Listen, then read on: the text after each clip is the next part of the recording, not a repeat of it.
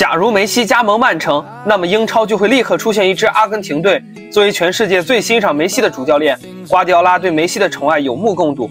你时常会看到瓜帅大声呼喊曼城球员要像梅西一样踢球。难怪现在的德布劳内的传球可以和梅西的助攻相媲美。而在曼城阵中，也有一位梅西的迷弟，那就是英格兰新星福登。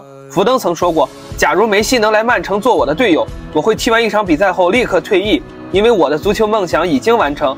尽管哈兰德将 C 罗视作偶像，可假如有梅西的传球，魔人布欧将会彻底打破进球纪录，到时候超越姆巴佩指日可待。